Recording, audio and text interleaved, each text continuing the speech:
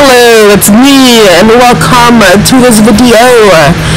In this video that you're about to watch, I am highlighting what it is like to rescue and transport and foster, kind of. I held on to the rats for a couple days afterwards, but I wouldn't really call that fostering. That's just making sure they're safe until I finish the transport.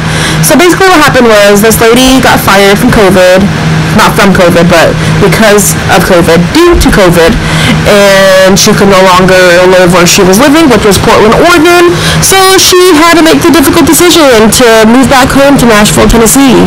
With her, she had her daughter and her two dogs. She couldn't take both dogs. Had to leave home one of the dogs.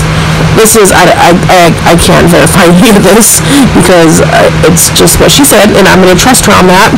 So she had these two little naked hairless rats, and she needed to do something with them because she was driving a U-Haul with literally everything she owned, had no room in the cab because her and her daughter and her dog would be in the cab, and I don't know what else they had up there. You know, I just it's not my place to ask or judge.